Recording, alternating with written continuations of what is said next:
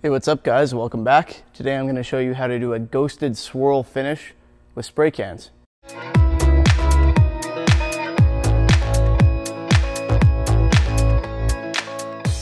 So don't worry, I know the last time you guys saw me with a bucket of water, uh, I wasn't wearing a shirt. That's not going to happen this time. I promise. What you need for this is a, uh, a bucket of water or a container of water that is deep enough to fit the piece that you are swirling and wide enough that you can move it around a bit.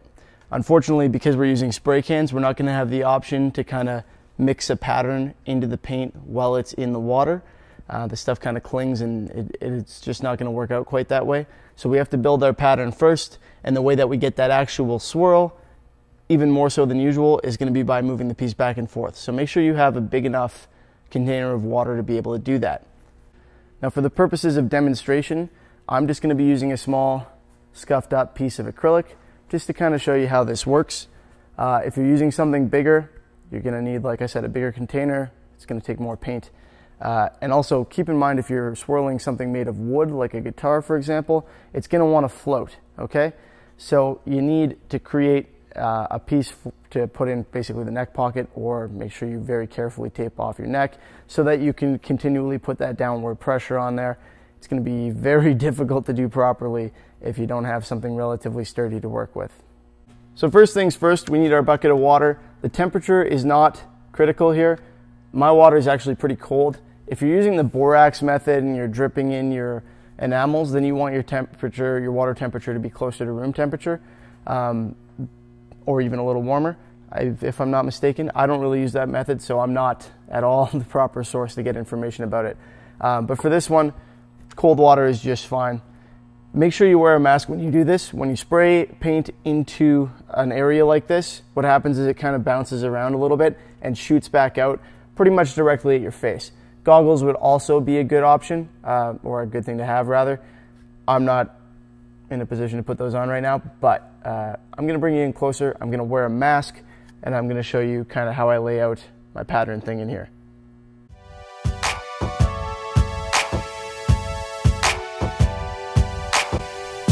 Alright guys, so I'm starting here with my white and black. I'm using those to create a nice high contrast. You don't have to use white and black, but you need something that's going to contrast fairly starkly if you're going to go over it with the, the, another paint after to create the ghosting pattern. Otherwise, you really won't be able to see that pattern at all through the other paint.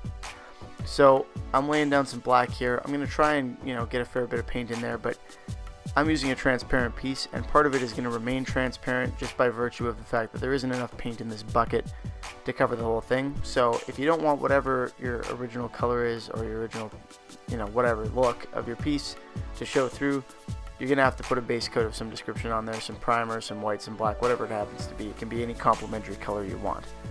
So you can see me creating the pattern in here. Uh, I'm doing that by kind of creating rings and then spraying into the middle of them to create more rings and doing so at weird angles and stuff to move the paint around and push things into an interesting pattern because like I said I can't really go in there with a stick and swirl it so this is how I do the patterning it's really pretty straightforward with the, with the spray cans but you can't just move paint around. So I've got some pliers here to just allow me to dip this in there and then a piece of paper towel to wipe off the excess paint off the top. You'll see me do that to wipe it off the top of the water. I'm moving the piece back and forth and then I get it fully submerged and I get rid of that excess paint so that when I pull it out it doesn't hit any of that and get contaminated. And here is the pattern that you're left with after those few steps. Now we've got the swirling aspect of this paint job done. Don't forget to put a base coat on your piece if you're not working with something transparent or that you want to keep that background color for because the swirl will not consume the entire surface area. So for example on this one putting down a white or gray beneath my swirl job would have made sense. Also you're seeing that I started here, there's a lot more coverage here and a lot less up here. That's because I used a small bucket. I didn't have enough room really to get paint all over this thing if I had a bigger tray or something like that, a bigger area to work with, not a tray, um, I could have gone all the way across and come back a little bit and it would have consumed the entire piece. Now for this, because it's transparent, having a clear section on top is going to look pretty cool. Not that this is going to be worth anything after, but uh, you do want to probably make sure that you have a big enough piece to cover the entire thing for most paint jobs. You might want to do something that fades from a swirl into whatever color's underneath, but that's up to you and something that you'll need to figure out based on the size of your piece. Now that we've got the swirl component of this done, it's time to get the ghosting effect on there.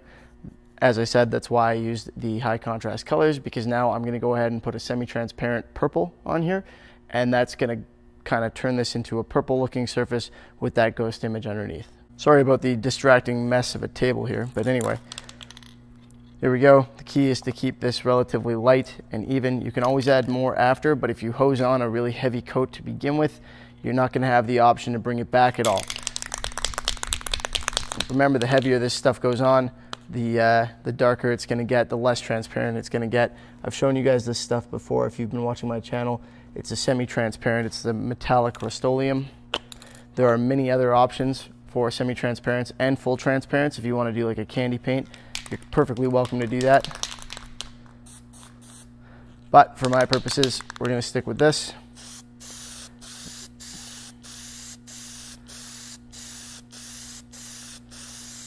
I'm just gonna apply a nice coat of that and I'll have to do the same on the other side.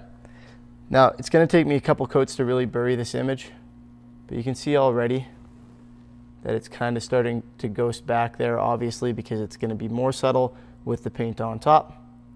And after a couple coats, it's gonna be quite difficult to see what was on there from some angles. I gotta let this dry now and we'll come back and do another coat in a while.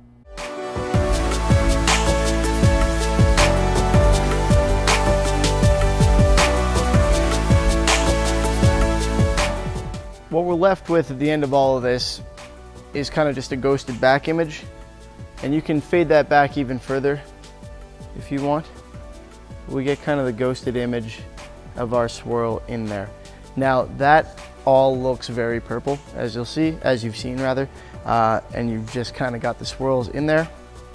There's paint on my hand.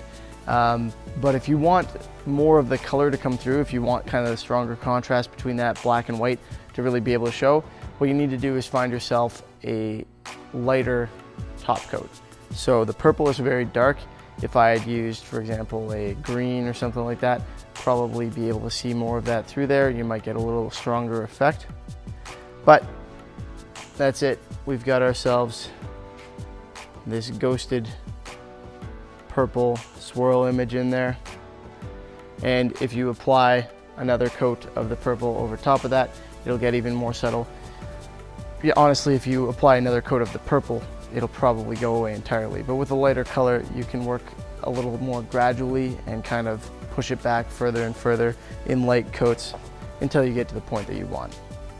That's it for this technique. So I hope you guys enjoyed the video. If you have any questions, let me know. If you did like it, feel free to give it a thumbs up. I'd appreciate that. And uh, as always, have a good one. See you next time.